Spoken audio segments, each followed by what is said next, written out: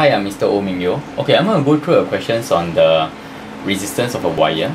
Okay, I have a 2 meter wire of cross-sectional area 3 mm square and it has a resistance of 8 ohms. What is the resistance of a wire of the same material which has a length of 1 meter and cross-sectional area of 6 mm square? Okay, there's two ways in which you can approach this question. The first way is by common sense and the second way is by a mathematical method. Okay, uh, first way. We know that the initial resistance is 8 ohm and there is a change to the length from 2 meter to 1 meter.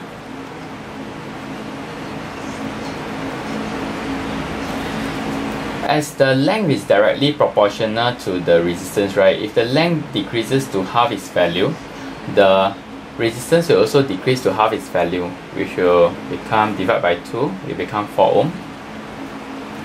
Okay, next, um, the area increases from 3 mm square to 6 mm square.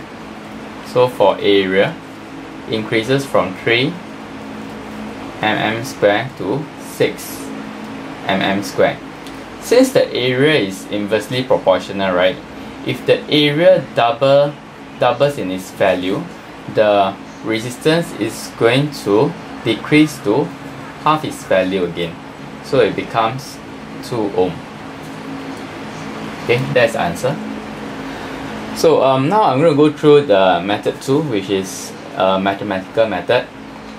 We have to use the formula resistance is equal to the resistivity multiplied by the length over the area.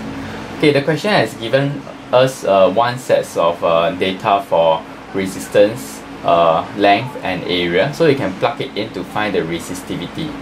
And it will be 8 is equal to resistivity multiplied by the length which is 2 over um, the area which is 3 so resistivity is equal to 3 times 8 divided by 2 and that will give us 12 and with this you can write out the equation.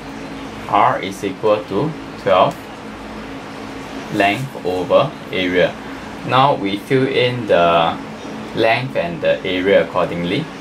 So R will be equal to 12 times the length which is 1 over the area which is 6 and with this we can also get 2 ohm.